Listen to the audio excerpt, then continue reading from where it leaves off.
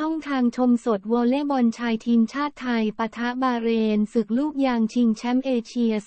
2023 รอบจัดอันดับ 7-10 วันที่ 25 สิงหาคม 66 ความเคลื่อนไหวหลังจากที่วอลเลย์บอลชายทีมชาติไทยเอาชนะอิรักไป 3-1 เซต 22-25 25-19 25-20 25-18 ในศึกลูกยางชิงแชมป์เอเชีย 2023 รอบจัดอันดับ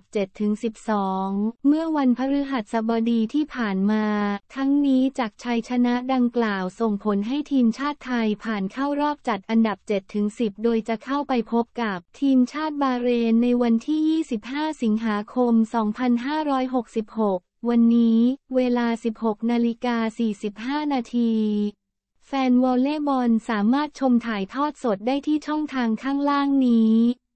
เมื่อถึงเวลาแข่งขัน